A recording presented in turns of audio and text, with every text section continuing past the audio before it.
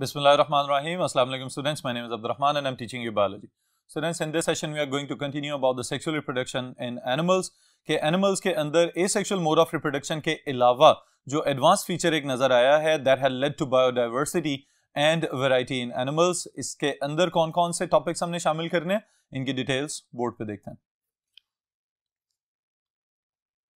Ji students in this session we are going to discuss about the sexual reproduction in animals अब जब हम इंसान को देखते हैं तो हमें पता चलता है we are at the highest level of organization as well as complexity तो अल्लाह ताला ने हमारे अंदर सेक्सुअल रिप्रोडक्शन की एबिलिटी प्रोवाइड कर दी हुई है। लेकिन स्टूडेंट्स इसके साथ ही साथ जब हम ये देखें कि जब हम एवोल्यूशन की बात करते हैं तो हमें पता चलता है कि इंसानों से पहले प्रोकैरियोटिक लाइफ से लेके और वर्टिब्रेट्स तक जो एवोल्यूशनरी प्रोसीजर्स हैं the asexual type of reproduction was the primitive mode of reproduction लेकिन सेक्सुअल रिप्रोडक्शन के आते ही बहुत ज़्यादा डाइवर्सिटी और बहुत ज़्यादा वेराइटी में इजाफा होता हुआ नज़र आ रहा है। अब ये जो डाइवर्सिटी बढ़ रही है, इसके पीछे बुनियादी तौर पे दो फैक्टर्स हैं। एक तो सेक्सुअल रिप्रोडक्शन में होने वाली क्रॉसिंग ओवर और दूसरी चीज़ जिसे हम कहते हैं जेनेटिक रिकम्बिनेशन के हर मरतबा गमीटोजेनेसिस यानी कि गमीट फॉर्मेशन के अमल के दौरान जो मियासिस हो रही है, उस मियासिस के अंदर every time the homologous chromosomes, they switch their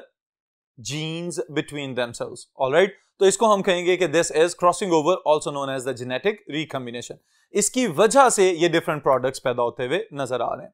फिर इसके अलावा जो इंपॉर्टेंट चीज़ें हमने यहाँ पे शामिल करनी है इस टॉपिक के अंदर one of them is the gametogenesis itself यानी how the sexual reproduction is dependent on the gamete formation तो इसके लिहाज से भी अगर हम समझना चाहें तो हमें पता चलता है कि पुराने जानदारों के अंदर एक ही तरह के गमीट्स प्रोड्यूस किए जाते थे। वट आर गमीट्स अब इस चीज़ को भी अंडरस्टैंड कर लें students all the higher living organism specially animals की अगर हम बात कर रहे हैं यहाँ पे तो दे आर डिप्लॉयड राइट अब अगर डिप्लॉयड इंडिविजुअल्स हैं या बॉडीज हैं, और इन्हीं का क्रोमोसोम नंबर अगर रिटेन करके रखना है तो अल्लाह ताला ने ये सलाहियत दे दी हुई है कि every time they will produce gametes and the gametes will have half the number of chromosomes इनके अंदर क्रोमोसोम्स की तादाद रिड्यूस हो जाती है, आधे तक चली जाती है, और फिर उसके बाद डिफरेंट पेरेंट्स से गमीट्स आके कंबाइन करते हैं, और उस फ्यूजन या फर्टिलाइजेशन की वजह से the total number of chromosome is restored alright तो ये वाली एक इंपॉर्टेंट प्रॉपर्टी जो हमें नज़र आ रही है, इसके पीछे सिग्निफिकेंस किस चीज़ की है? गमीरोजेनेसिस की। अब अगर तो एक ही तरह के गमीट्स किसी जानदार में पैदा हो रहे हैं तो उसको हम कहेंगे इट इज़ आइसोगेमस और आइसोगेमीट प्रोड्यूसिंग ऑर्गेनिज्म ऑलराइट और अगर कोई जानदार हमें इस तरह का नज़र आता है कि जिसमें एक से ज़्यादा मुख्तलिफ़ मोर्फोलॉजी वाले गेमीट्स पैदा हो रहे हैं तो उसको हम कहेंगे इट इज़ हेट्रोगेमिटिक और हेट्रोगेमस ऑलराइट स्टूडेंट्स तो ये टर्म्स समझने से ताल्लुक रखती हैं। स्पेशली अगर हम ह्यूमंस की बात करें तो यू बेटर अंडरस्टैंड के हमारे पास sperms the male gametes they are entirely different morphologically as compare to the female gamete फिर इसके साथ ही साथ जब हम और डेप्थ में देखते हैं तो हमें पता चलता है the male gametes are mostly motile gametes हरकत करके जाना टुवर्ड्स द फीमेल गेमीट ये मेल गेमीट्स के हिस्से में आया हुआ है थ्रू द एवोल्यूशनरी प्रोसेसेस लेकिन female gametes they are always sessile they do not move from one place to another in search of the male gametes alright students तो this is about the gametogenesis फिर इसके बाद जो next point हमने discuss करना है it is the differentiation of sexes यानी कि मुख्तलिफ़ जेंडर्स का मौजूद होना मुख्तलिफ़ जानदारों के अंदर। तो यहाँ पे भी ये बात समझने से ताल्लुक रखती है कि अगर हम लोअर ऑर्गेनिजम्स या लेस डेवलप्ड ऑर्गेनिजम्स की बात करते हैं तो वहाँ पे हमें हर हर्मेफ्रोडेटिक कंडीशन नज़र आती है कि some of the organisms they have male as well as the female reproductive structures present within the same body एक ही बॉडी के अंदर मेल टेस्टिस भी नज़र आते हैं और फीमेल ओवरीज भी नज़र आती हैं। तो इस तरह की बॉडी को हम कहेंगे इट इज़ हर्मेफ्रोडाइट ऑलराइट और इन्हीं हर्मेफ्रोडाइट्स को हम क्या कहते हैं? बायसेक्सुअल तो बायसेक्सुअल ऑर्गेनिजम्स कौन हैं? कि जिसमें एक ही बॉडी के अंदर डिफरेंट टाइप के रिप्रोडक्टिव स्ट्रक्चर्स मौजूद होंगे। While on the other side जो यूनिसेक्सुअल लिविंग ऑर्गेनिजम्स हैं, इनके अंदर हमें पता चलता है the male bodies as well as the female bodies are entirely separate and different from one another और फिर उसी के लिहाज से हम ये भी अंदाज़ा लगा सकते हैं। गेमिरोजेनेसिस के जो पोजीशंस हैं, यानी कि रिप्रोडक्टिव स्ट्रक्चर्स हैं they are also present in different bodies तो these types of organisms are known as unisexual alright so humans को हम किस ग्रुप में शामिल कर सकते हैं? इसका अंदाज़ा अब आप लगा सकते हैं. ऑलराइट स्टूडेंट्स फिर उसके साथ ही साथ जो नेक्स्ट हम प्रोसीजर यहाँ पे शामिल करने जा रहे हैं it is one of the most significant evolutionary process in the sexual reproduction and it is fertilization ji students fertilization का नाम आते ही फौरी तौर पे आपके जहन में एक बात आ जानी चाहिए कि it involve the fusion of gametes अगर गेमीट्स एक ही पेरेंटल बॉडी से प्रोड्यूस हो रहे हैं या डिफरेंट पेरेंटल बॉडी से प्रोड्यूस होकर आ रहे हैं, until or unless they will fuse with one another, they will combine तो तब जाके हमें पता चलेगा कि ये जो फ्यूजन वाला अमल है this is known as fertilization और फर्टिलाइजेशन की सिग्निफिकेंस क्या है, अभी मैंने आपको बताया था कि if the organisms are diploid they will produce haploid gametes and when the haploid gametes will combine with one another, the process is fertilization, and the main significant point is the restoration of the total number of chromosomes as it was present in the parents. All right students? तो ये बुनियादी तौर पे अहमियत है fertilisation की। लेकिन जब हम मैकेनिज्म पे गौर करते हैं तो हमें पता चलता है कि अमंग द डाइवर्सिटी जितनी इकसाम के जानदार मौजूद हैं हमारे इर्द गिर्द, पानी के अंदर रहने वाले या खुश्की पे रहने वाले या जेर ज़मीन रहने वाले, इन तमाम तरह के जानदारों में दो बेसिक टाइप्स की फर्टिलाइजेशन पॉसिबल हैं। The first one is known as external fertilization यानी इस तरह की फर्टिलाइजेशन जिसमें गमीड्स पेरेंटल बॉडी से बाहर चले जाएँगे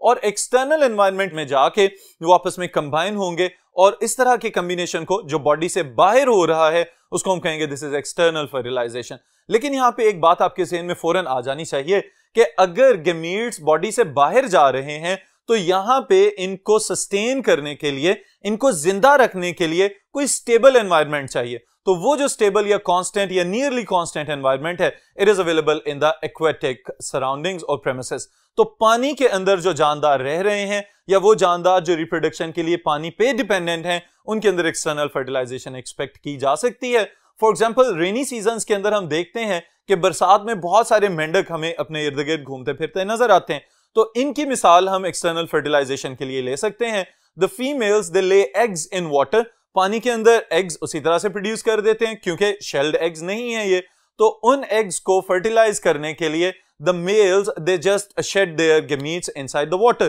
पानी के अंदर उसी तरह से स्पर्म्स फैला देते हैं। और फिर रेंडमली जो मेल गेमीट फीमेल गेमीट के साथ जाके कंबाइन कर जाए it results in the further development of the offspring जिसको हम कहते हैं मेटामॉर्फोसिस कि पहले वही जो एक जाइगोट बना, फिर वो अल्टीमेटली टेडपोल और then it will grow up into an adult frog तो दीज फ्रॉग्स और the amphibians they are the products of external fertilization मछलियों में भी हमें यही तरह की फर्टिलाइजेशन नज़र आ सकती है। देन स्टूडेंट्स उसके बाद अगर हम नेक्स्ट टाइप की बात करें तो it is internal fertilization internal fertilization बुनियादी तौर पे एक मोडिफिकेशन है when the organisms, they move from aquatic to the terrestrial organism, terrestrial environment. जब खुशकी वाले एनवायरमेंट की तरफ़ आए हैं तो पता चला है कि यहाँ पे गेमीट्स को सिक्योर और सेफ़ रखना भी ज़रूरी है ताकि सक्सेसफुल फर्टिलाइजेशन हो सके। तो उसके लिए अल्लाह ताला ने ये एडेप्टेशन दे दी है कि in different terrestrial groups of animals they have different genitals जिन्हें हम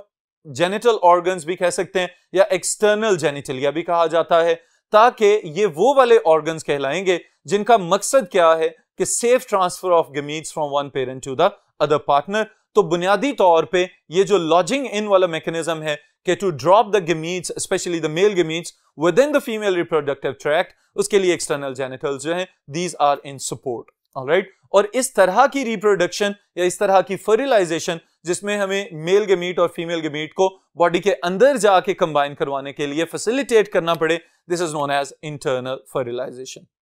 alright students फिर फर्टिलाइजेशन के बाद जो अल्टीमेट हैचिंग आउट या बर्थ मैकेनिज्म्स हैं। उसके लिहाज से हमने एनिमल्स को तीन बड़े ग्रुप्स में डिवाइड किया हुआ है। द फ़र्स्ट वन आर ओवी पेरस एनिमल्स अब ओवी की टर्म आते ही आपके जेन में फौरी तौर पे आ जाना चाहिए कि बुनियादी तौर पे ये वो एनिमल्स कहलाएँगे कि जो अंडे देते हैं और फिर उसके बाद इन अंडों को इनक्यूबेट किया जाता है एक स्पेसिफिक ड्यूरेशन के लिए और फिर कहीं जाके इन शेल्स में से बेबीज या इनके चिक्स वगैरह हैच आउट होते हुए नज़र आते हैं। स्पेशली रेप्टाइल्स और बर्ड्स के अंदर ये वाला फीचर हमें नज़र आता है कि इनके अंदर एमनियोटिक एग्स वगैरह मौजूद हैं और शेल्ड एग्स मौजूद हैं और जब इनका एक स्पेसिफिक दौरानिया गुजर जाए, उसके बाद इन अंडों में से इनके बच्चे निकल आते हैं। These animals are known as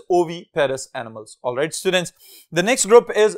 viviparous अब विवी पेरस का लफ्जी मतलब ये है कि ज़िंदा की पैदाइश। ऑलराइट तो ज़िंदा को किस तरह से पैदा किया जा सकता है, उसके लिए बेहतरीन मिसाल है mammals themselves These are the animals in which the developing embryo, it develops inside the bodies of the mothers. Mostly females की बात हो रही है। तो अगर मदर्स की बॉडी के अंदर यूट्रस में ये डेवलप हो रहे हैं तो वहाँ पे इनको किस चीज़ के ज़रिए नरिश किया जाता है? थ्रू प्लेसेंटा वहीं से एक्सचेंज ऑफ़ मटेरियल्स और वेस्ट प्रोडक्ट्स वगैरह चलता रहता है। और मदर्स जो हैं, वो नरिश करती हैं एक स्पेसिफिक ड्यूरेशन के लिए and then they are delivered और hatched out from the bodies of the mothers तो इस तरह का जो ग्रुप है एनिमल्स का, जो डायरेक्टली बच्चे पैदा कर रहे हैं, उनको हम कहेंगे these are the viviparous animals then is the last group and kind of strange group जिनको हम कहते हैं ovoviviparous group of animals इसी तरह इसको ओवो वाइविपेरस भी कहा जाता है कुछ जगहों पे। तो ये जो ovoviviparous group of animals है स्टूडेंट्स अब it is a combination of the previous two conditions ovo, यानी यहाँ पे एग होगा।